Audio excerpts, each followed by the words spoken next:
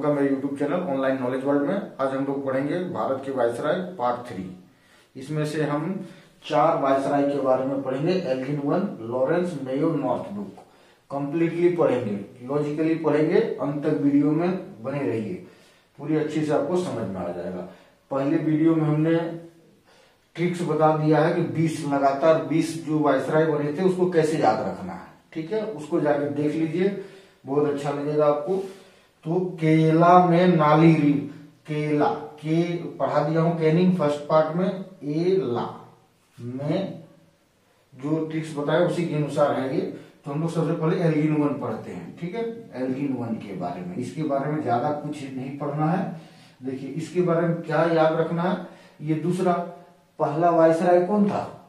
Canning Canning was आखिरी आखिरी governor general and पहला वायसराय वो पिछले वीडियो में पढ़ चुके हैं। अब हम लोग यहाँ पढ़ते हैं एल्गिन वन देखिए, इसके समय सबसे महत्वपूर्ण घटना बहावी मूवमेंट, ठीक है? बहावी मूवमेंट हुआ था। बहावी मूवमेंट हुआ नहीं था, बहावी मूवमेंट को दबाया गया था, पूरी तरह से खत्म कर दिया गया था, ठीक है? बहावी मूवमेंट का उन्मूलन, ठीक है? खत्म कर दिया गया था, एलगिन वन ये बहुत बड़ी विक्ट्री थी अंग्रेज़ों के लिए बहावी मूवमेंट जो बहुत प्लान टाइप से चल रहा था। बहावी मूवमेंट के बारे में ये जान लीजिए, ये ये बहावी क्या होता है? बहावी एक मुस्लिम मुस्लिम का एक पंथ है, जो इंडिया में तो लगभग नहीं के बराबर मिलता है। ये सऊदी अरब आप जाएँगे, वहाँ पे लगभग नब्बे परसेंट से ज़्यादा आबादी बहावी होते हैं। ये अपने धर्म के प्रति बहुत ज़्यादा कट्टरता होते हैं, जो डिसिप्लिन मोहम्मद साहब के जमाने में, शुरुआती दौर में मुसलमान इंसेप्शन के शुरुआती दौर में जो जो डिसिप्लिन बनाए गए थे, उसी डिसिप्लिन को फॉलो करना। एकदम कट्टरता से इन लोग फॉलो करता है, ठीक है? तो ये बहावी मूवमेंट कहाँ चल रहा था? सऊदी अरब में। सऊदी अरब से आया है इंडिया, ठीक है? सऊदी अरब में सैयद बहाव सैयद बहाव, बोल के एक लोग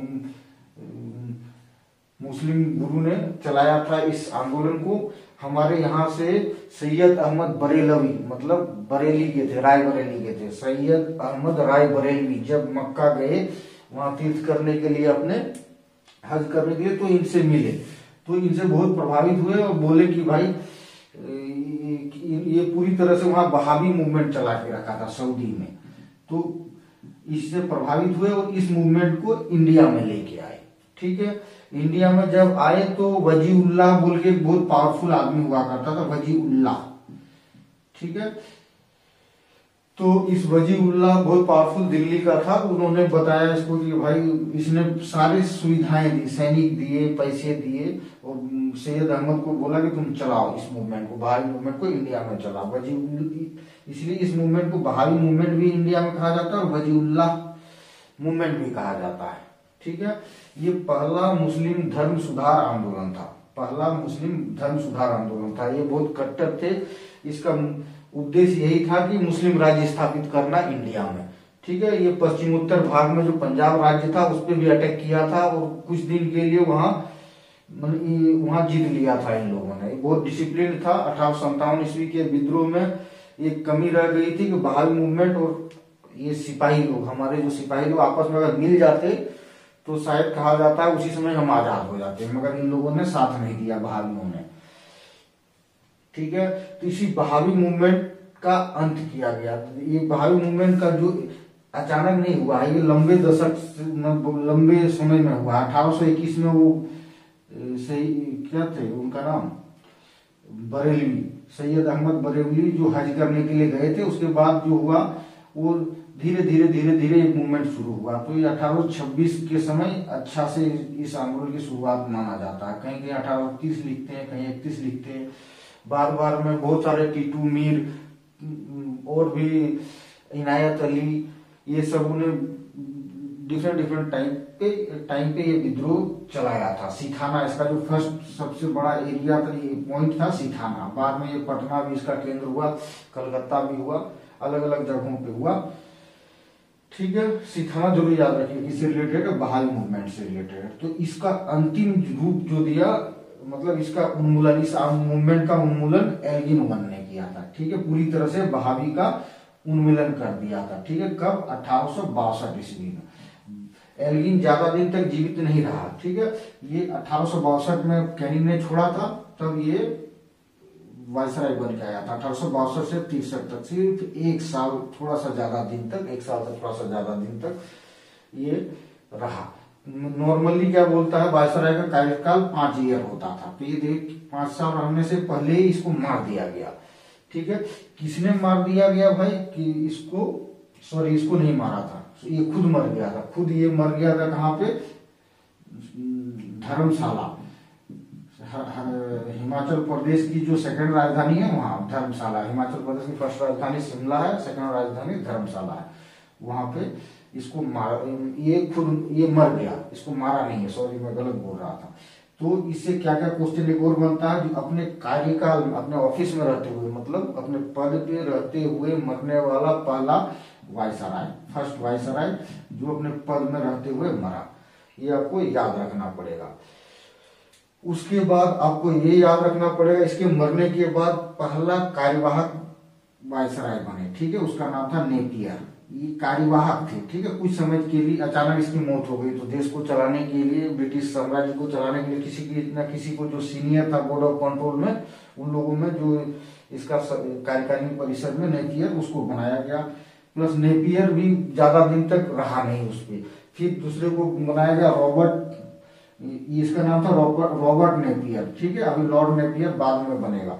ये रॉबर्ट नेपियर पहला बना, उसके बाद डेनिसन बना, ठीक है? डेनिसन। ये एक साल थोड़े से थोड़े से दिन के लिए चलाया इन्होंने, एक साल तक लगभग दोनों ने मिलके, ठीक है? इतना आपको याद करना पड़ेगा। दूसरी बात, इसके समय में क्या काम हुआ? दास प्रथा का पूरी तरह से अंत। दास प्रथा का जो खरीद फरोख्ती होता था ना पूरी तरह से अंत हुआ। देखिए, इसके पीछे क्या कहानी है? दास प्रथा का 1833 का चार्टर एक्ट। 1833 का जो अंग्रेज़ों का चार्टर एक्ट था, उसमें एक प्रोविज़न दिया। बहुत सारे प्रोविज़न थे, उसमें से एक प्रोविज़न ये था कि भारत में दास प्रथा से मुक्त कराया जाएगा। ठीक है? तो अठारह तैतीस के इंपॉर्टेंट क्वेश्चन दास प्रथा उन्मूलन का ज़िक्र किस एक्ट में हुआ था? तो अठारह तैतीस ईस्वी का चार्टर है। लेकिन कानून कब बनाया? अठारह तैतालीस ईस्वी देखिए, दस, याद करने में बड़ा आसान हो जाएगा, दस साल बाद। कानून बना के पूरी तरह से प्रतिबंध लगा दिया। कब? जब गवर्नर जनरल एलन बरो था। ठीक है? एलन बरो ठीक है? लॉर्ड एलन बरो इसने प्रतिबंध लगा दिया। तो पूरी तरह से दास प्रथा रुक गई। लेकिन पूरी तरह से फिर भी छोटे चोरी छोटी मोटे लेवल पे हो रही थी। ठीक है? तो उसको एल्गिन वन ने पूरी तरह से खत्म कर दिया था दास प्रथा को।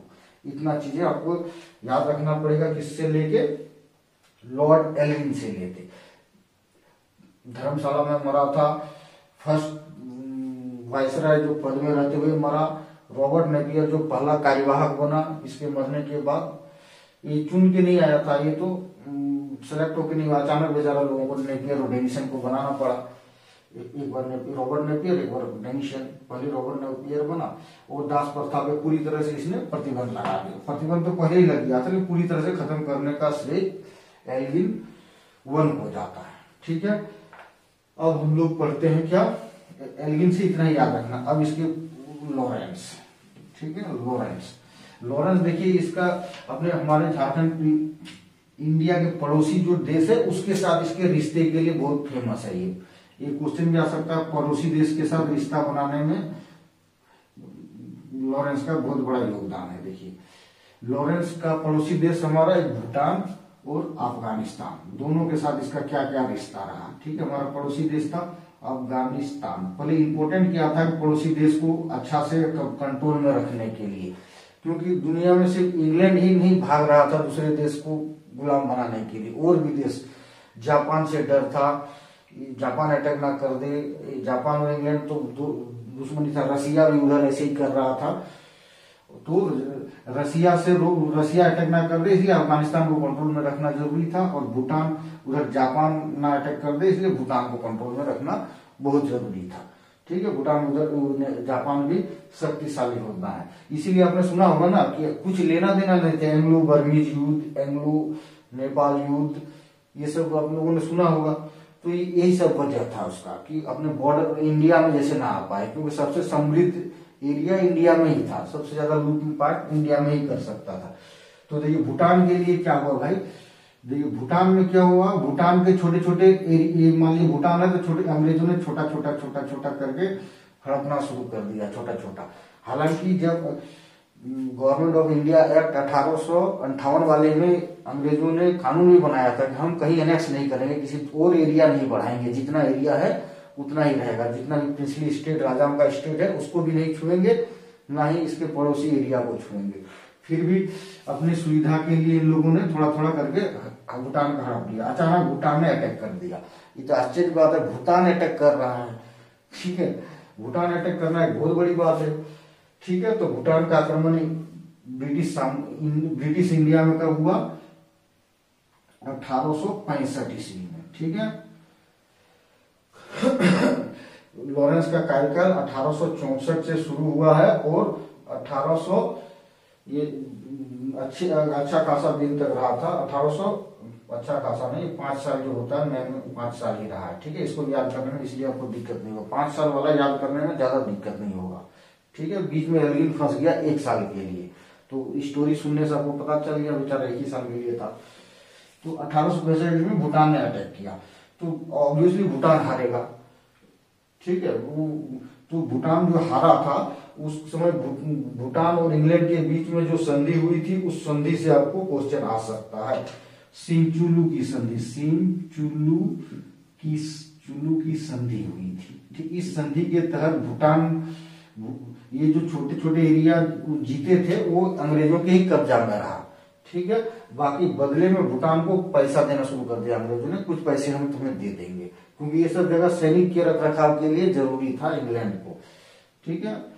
तो भूटान जिसमें हार गया तो बेचारा राज़ी राज़ी होना ही पड़ेगा। बाद में जब इंडिया आज़ाद हुआ अठारह सौ अड़तालीस में, भूटान की छोटे छोटे एरिया को दे दिया।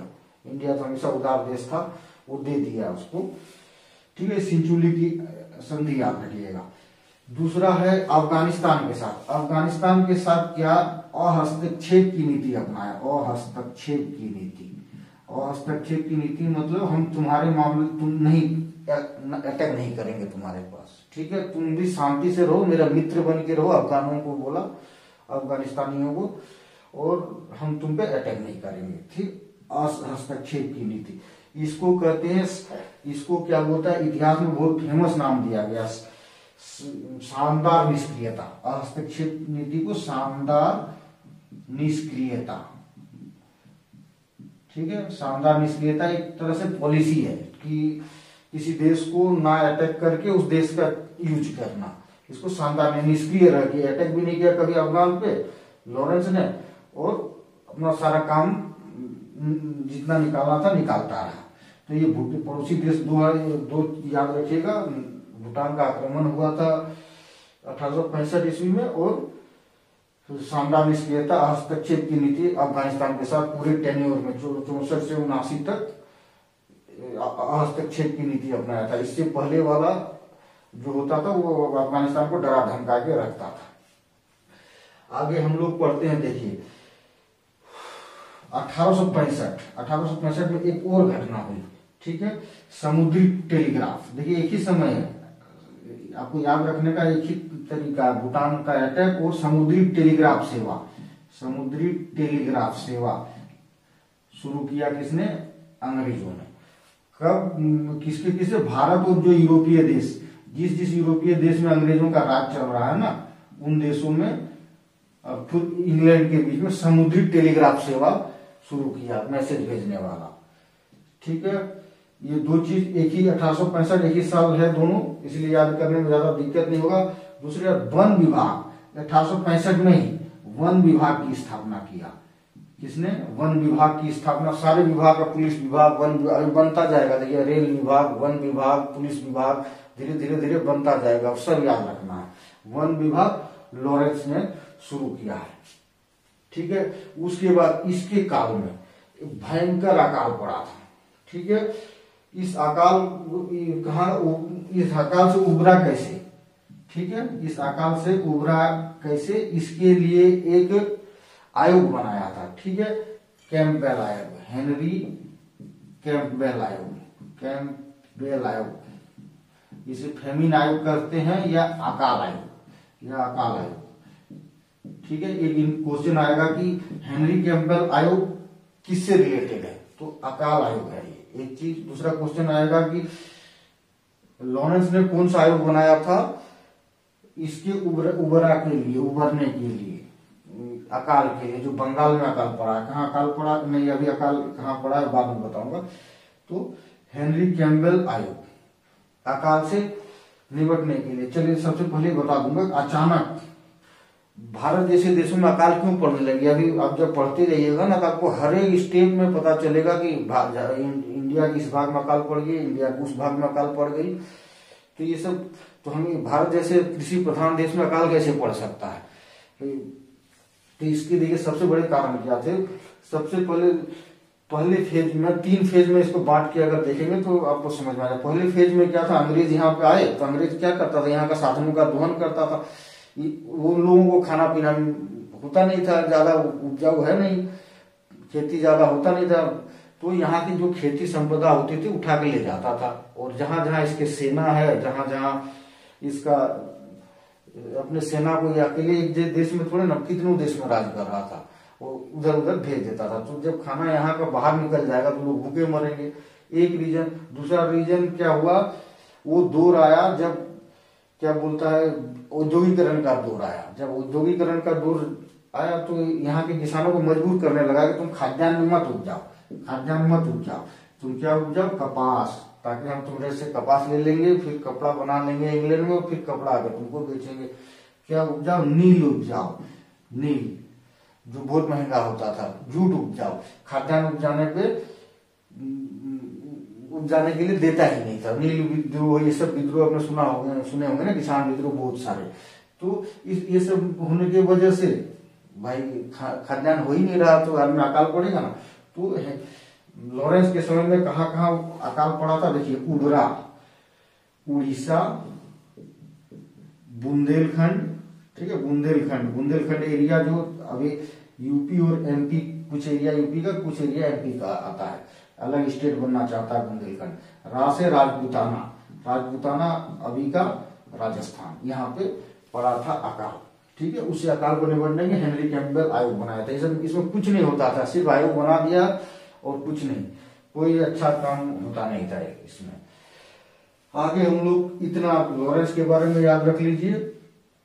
ठीक है?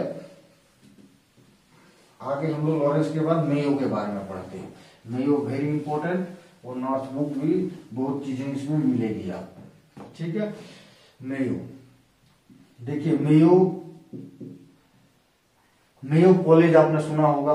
दो जगह मेयो कॉलेज बनाया ठीक है, दो मेयो कॉलेज बना है, मेयो कॉलेज। नाम नहीं सुना होगा, सुन लीजिए। बहुत फ़ेमस कॉलेज है, आपके पास बहुत ज़्यादा पैसा है अभी भी, तब जाके यहाँ पे पढ़ सकते हो। एक अजमेर में अजमेर में जो मैं देखा हूँ, वो एक है कठियावाड़। कठियावाड़ कहा है? राजस्थान में। सॉरी गुजरात में है कठियावाड़। दो जगह पे ये मेयो कॉलेज है। ये मेयो कॉलेज, लॉर्ड मेयो ने क्यों बनाया? उस समय जो प्रिंसली स्टेट थे, राजाओं। उस राजाओं के शिक्षा के लिए या उसके बच्चों के शिक्षा के लिए? तो बहुत खर्चीला है ना, राजाओं या राजाओं के बच्चे। तो वही परंपरा अभी भी चल रहा है, मेयो कॉलेज और कठियावाड़। ठीक है? मेयो का कार्यकाल देखिए, अठारह ईस्वी में शुरू हुआ और अठारह में शुरू हुआ। और कितने जल्दी मर, बहुत जल्दी मर गया था, अठारह ईस्वी में मर गया। ठीक है? मर किया गया, इसकी इसको मार दिया गया, ठीक है? आपने अभी देखा कि एलगिन ने बहाली मूवमेंट को दबा दिया था तो बहाली लोग बहुत नाराज़ थे गवर्नर जनरल से, ये वायसरायों से, यहाँ के शासन प्रमुखों से। तो उसी का एक आदमी बहाली मूवमेंट का एक आदमी, शेर अली अफरीदी। अफरीदी ने इसको मार दिया चाकू। ये अफगानी था, ठीक है? अफगान का था। कहा चाकू मारा? पोर्ट ब्लेयर में। ठीक है पोर्ट ब्लेयर में। ये मेयो गया था, जो सेल्यूलर जो है ना कालाबानी जेल जिसे कहते हैं पोर्ट ब्लेयर में। वहाँ पे गया था, वहाँ के कैदियों का निरीक्षण करने के लिए। उसी समय, मौका पाके इसने चाकू मार दिया, शेर अली अफरीदी ने। ठीक है, कब? अठारह ईस्वी। में यहाँ पे देखिए, खेल देखिए। ये कब? ये मेयो कॉलेज कब? अठारह ईस्वी में।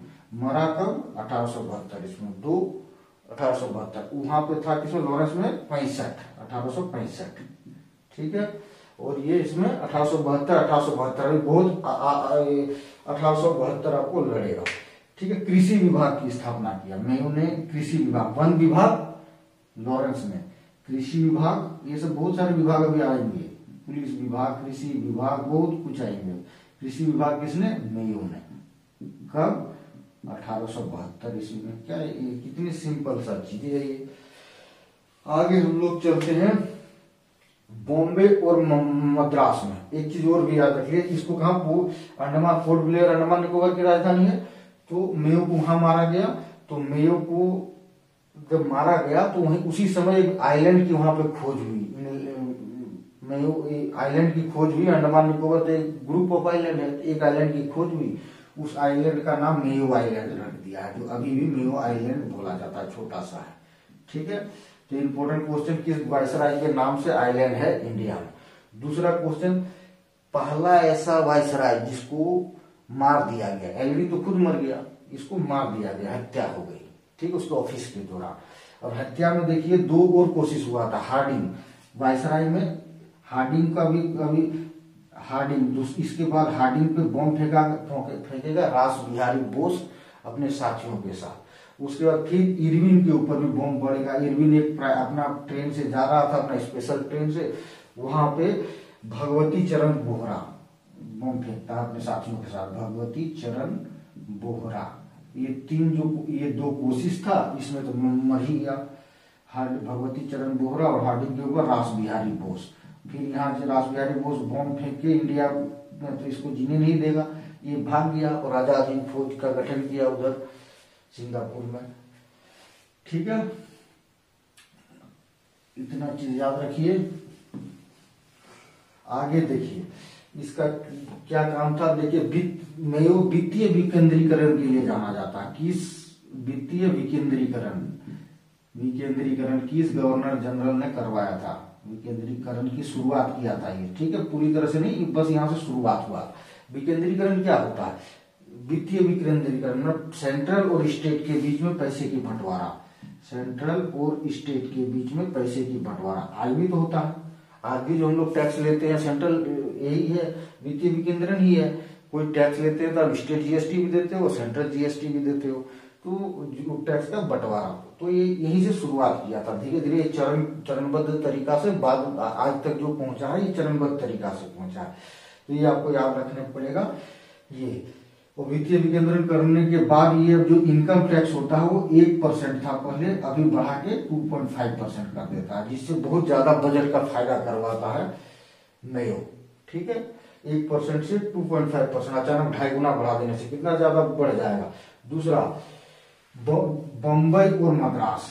ठीक है? बम्बई और मद्रास प्रांत में। बम्बई और मद्रास प्रांत, दो प्रांत में नमक टैक्स, नमक कर बढ़ा देता है। ठीक है? और बाकी पूरे इंडिया में कहीं नहीं बढ़ाता है। बम्बई और मद्रास, दो जगह। दूसरी बात है, अली, अलवर और काठियावाड़, दो ऐसा जगह है जिसको ये अलवर और काठियावाड़ जिसपे ये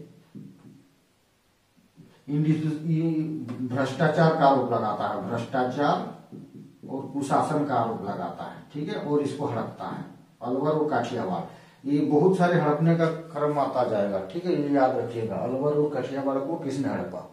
ठीक है? अलवर राजस्थान में है और काठियावाड़ जी जामेरू कॉलेज है गुजरात। इतने चीज़ें आपको याद रखना पड़ेगा। ठीक है?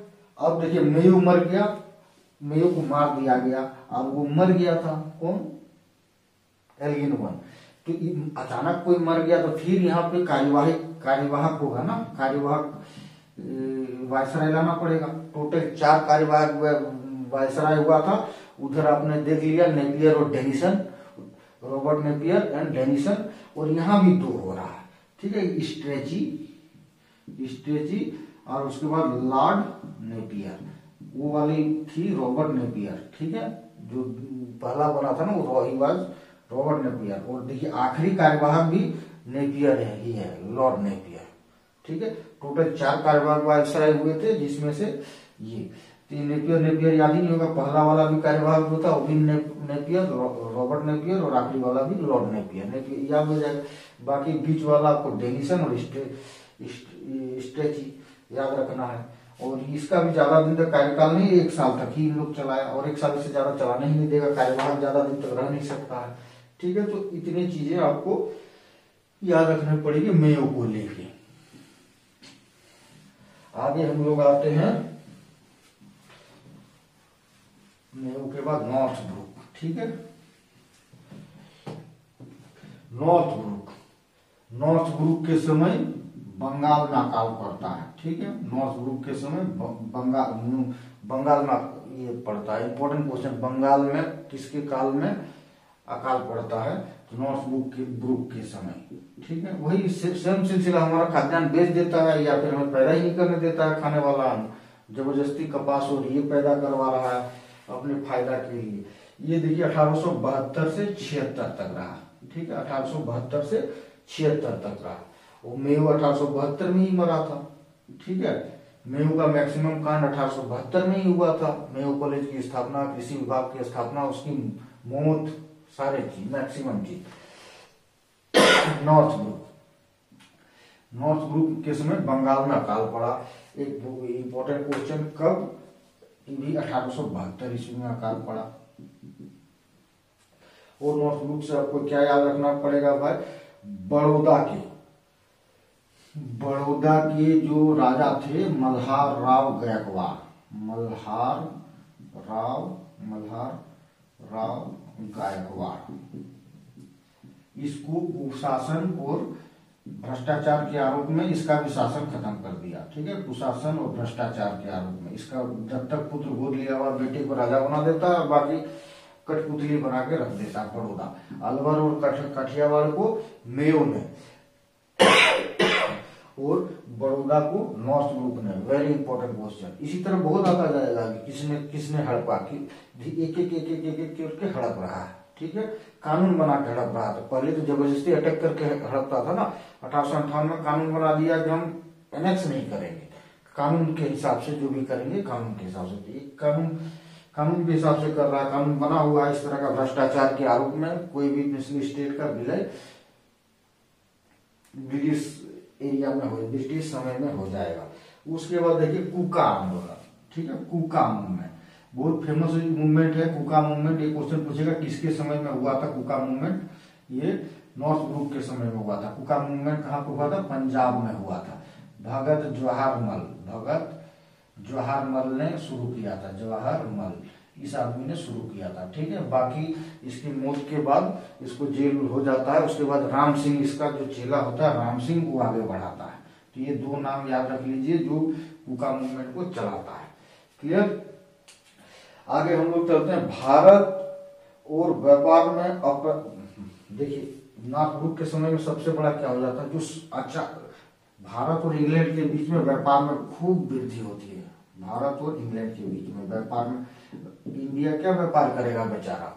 वही कपास उपास बेचेगा, वही ठग के लिए जा रहा, सारे सामान तो इधर ही जा रहा मतलब कच्चे माल इधर जा रहा है कच्चा माल इधर जा रहा है, और इसका बनाया हुआ माल हम लोग खरीद रहे हैं। यही व्यापार हो रहा है वही इंग्लैंड इंग्लैंड ही खेल रहा है। ठीक है, हम लोग सिर्फ़ ताली बजाने वाले हैं, मार खाने वाले हैं। तो ये व्यापार अप्रत्याशित वृद्धि किसके समय में हुई? व्यापार अप्रत्याशित वृद्धि। तो ये नॉर्थ ब्रुक के समय हुआ। क्यों? क्योंकि उस स्वेज कैनाल खुल गया था। स्वेज कैनाल का रास्ता बन गया था। पहले स्वेज कैनाल से जहाजें नहीं आती थी। हमें जहाजी पूरे अटलांटिक महासागर मेडागास्कर अफ्रीका होते हुए लक्षद्वीप साइड से, केरला साइड से आना पड़ता था। अब क्या हुआ? स्वेज नहर खुल गया। अब तो एकदम सीधा रास्ता। मेडिटेरियन सी घुसेगा इंग्लैंड उसके बाद पहले जिब्राल्टर स्टेट घुसेगा, उसके बाद मेडिटेरियन सी घुसेगा, स्वेज कैनाल से पार होगा, रेड सी आएगा, उसके बाद इंडियन ओशियन में प्रवेश कर दिया। बहुत आसान, सीधा रास्ता। तो इस वजह से अप्रत्याशित वृद्धि हुई। आगे हम लोग पढ़ते हैं 1875 ईस्वी में। क्या हुआ? 1875 ईस्वी में। एडवर्ड सेवन भारत विज़िट में आया था। एडवर्ड सेवन, ठीक है? ये भी क्वेश्चन पूछ सकता है एडवर्ड प्रिंस ऑफ़ वेल्स किसकी? Wales prince of Wales prince of Wales की राजधानी। ठीक है? प्रिंस ऑफ़ वेल्स का राजकुमार है राजकुमार था ये। देखिए प्रिंस ऑफ़ वेल्स का राजकुमार का ब्रिटेन का राजकुमार इसमें क्या डिफरेंट है भाई? देखिए यूनाइटेड किंगडम जो है यूके ठीक है? वो चा, चार स्टेट से चार देश से मिलकर बना उत्तरी आयरलैंड स्कॉटलैंड, इंग्लैंड और वेल्स। वेल्स भी एक देश है, ठीक है? तो ये सब तो सबका अलग अलग प्रिंस था, ठीक है? तो ये वेल्स वाला प्रिंस एडवर्ड सेवन आया था क्लियर अठारह हो गया, अब हम कहते हैं क्या? देखिए universal marriage act very very very important question universal अठारह में ही, मल्हार राव गायकवाड़ भी गया, अठारह सौ बहत्तर में ही गया था। मैं उसका भी राज हड़पा था अठारह सौ बहत्तर में क्या करता है? यूनिवर्सल मैरिज एक्ट लाता है। यूनिवर्सल मैरिज एक्ट देखिए, ये सब समाज सुधार में आता है। सती प्रथा एक्ट खत्म किया बेंटिंग ने कैनिंग ने, विधवा रीमैरिज एक्ट लाया और यूनिवर्सल मैरिज एक्ट लाया किसने? नॉर्थ ब्रुक ने, कब? अठारह ईस्वी में। वेरी इंपॉर्टेंट क्वेश्चन इसको नेटिव मैरिज एक्ट भी कहते हैं नेटिव मैरिज एक्ट भी कहते हैं। या हिंदी हिंदी में इसको जाइए अंतरजातीय विवाह अंतरजातीय विवाह। कोई भी आदमी, किसी भी आदमी से विवाह कर सकता था, किसी भी कास्ट से विवाह कर सकता था। ये कानून कौन लाया था? नॉर्थ ब्रुक ने। ठीक है, कब? अठारह ईस्वी में। वेरी इंपॉर्टेंट क्वेश्चन अगर इनकम टैक्स इनकम टैक्स जो है एक से ढाई परसेंट बढ़ा दिया था ना मेयो ने एक से ढाई परसेंट। इससे थोड़ा सा नेगेटिव इफ़ेक्ट पड़ा था इंडियंस के ऊपर। ठीक है इंडियंस ने बहुत विरोध किया था। इसीलिए इसका बनाया हुआ कानून तोड़ दिया। नॉर्थ ग्रुप ने कर, क्या कर दिया? इनकम टैक्स फ्री ज़ीरो कर दिया। कोई इनकम टैक्स में पैसा नहीं देना। ठीक है? ये किसने किया था? नॉर्थ ग्रुप ने किया था। वेरी इंपॉर्टेंट क्वेश्चन और देखिए क्या क्या इस समय घटनाएँ होती है। ये घटनाएँ कब हो गया? तीनों घटनाएँ अठारह ईस्वी में याद करना बहुत आसान होगा, ठीक है? अठारह सौ पचहत्तर में तीन बड़ी बड़ी घटनाएँ होती है। सबसे पहले थियोसोफिकल सोसाइटी की स्थापना, इसी के शासन काल में थियोसोफिकल सोसाइटी की स्थापना, ठीक है? दूसरा आर्य समाज की स्थापना, कब होती है? अठारह सौ पचहत्तर ईस्वी थियोसोफिकल सोसाइटी के अठारह सौ पचहत्तर ईस्वी में आर्य समाज की। और अलीगढ़ मूवमेंट ठीक है? अलीगढ़ कॉलेज जो है ना, वो अलीगढ़ मूवमेंट का ही हिस्सा हुआ। अलीगढ़ आंदोलन, ये कब शुरू हुआ? अठारह ईस्वी में, ठीक है? तीनों, और तीनों नॉर्थ ग्रुप के समय में ही शुरू हुआ है। वेरी इंपॉर्टेंट क्वेश्चन क्वेश्चन पूछेगा क्योंकि बड़े बड़े आंदोलन था, ये मुस्लिम सुधार आंदोलन था आर्य समाज समाज हिंदुओं का ये था, सुधार था एक आंदोलन, वेदों की ओर लौटो। और थियोसोफिकल सोसाइटी क्या था। ये थियोसोफिकल सोसाइटी था। ये एक बता देता इसका उद्देश्य था पता लगाना दुनिया की सबसे अच्छी संस्कृति क्या है। सारे संस्कृतियों का रिसर्च करना।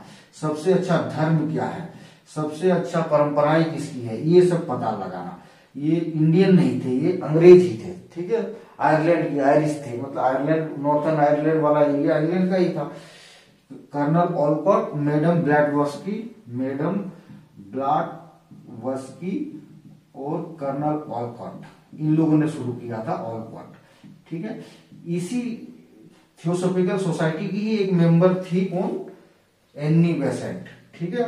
एनी बेसेंट ठीक है? एनी बेसेंट एनी बेसेंट को देखिए, इसके नाम की वजह से माता बसंत बोला जाता है। बेसेंट कोई इंग्लिश में बसंत भी बोल दीजिए। तो माता बसंत किसका उपनाम है? एनी बेसेंट का। तो एनी बेसेंट इंडिया क्यों आई थी? आके सबसे पहले बनारस में आकर रुकी थी उसको आने का सबसे बड़ा कारण ये थियोसोफिकल सोसाइटी के रिसर्च के लिए आई थी। इस सबसे अच्छी संस्कृति, सबसे अच्छा धर्म, परंपरा ये सब बताना इसीलिए आई थी इंडिया। और यहाँ रिसर्च किया था। इसने रिसर्च किया था, रिपोर्ट में ये बताया था कि दुनिया का सबसे अच्छी संस्कृति, सनातन संस्कृति सबसे अच्छा धर्म ही सनातन धर्म और सबसे अच्छी परंपराएँ सनातन धर्म में है। ये इसकी रिसर्च थी, ठीक है?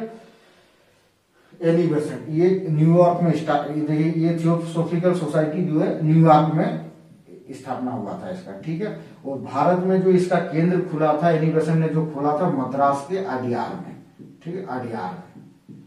क्लियर आगे चलते हैं। आर्य समाज। स्वामी दयानंद सरस्वती, सबको पता है दयानंद सरस्वती।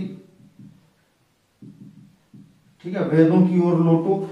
देखिए, यहाँ पे वेदों की ओर लोटो का, पीछे का आपको जाना पड़ेगा, वेदों की ओर लोटो। मतलब ये क्यों हुआ? अभी बता रहा हूँ, अकाल पड़ता जा रहा है, पड़ता जा रहा है, पड़ता जा रहा है। इस अकाल में भूख का बहुत बड़ा सौदागर किया था अंग्रेज़ों ने।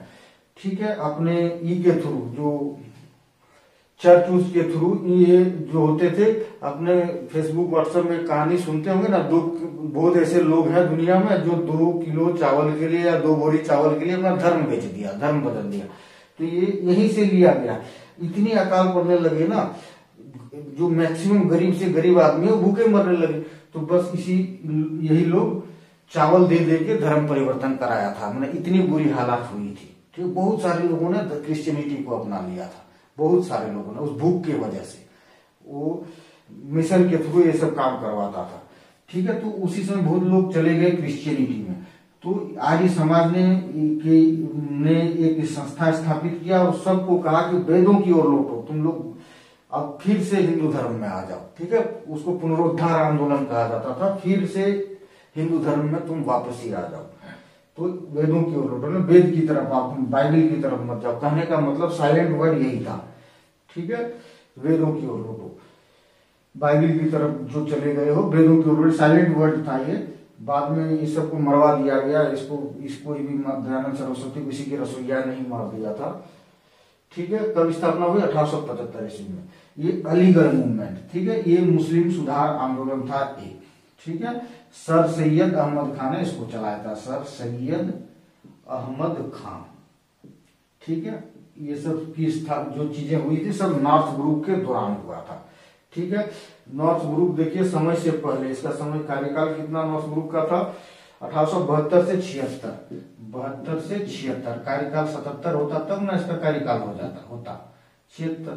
तो ये छिहत्तर पूरा कार्यकाल होता तब। यहाँ पे गृह गृह नीति की वजह से एक नीति से असमर्थ हो जाता है और इस्तीफा देके अपना इंग्लैंड चला जाता है। इस्तीफा देके इंग्लैंड चला जाता है। बस इतना चीज़ें आपको याद रखना पड़ेगा नॉर्थ ग्रुप के बारे में। तो ये चारों का जो चीज़ मैंने बता दिया, बाकी इसके बाद जो भी है, नेक्स्ट वीडियो में मैं बताता चलूँगा ये सब चीज़ों को। Thank you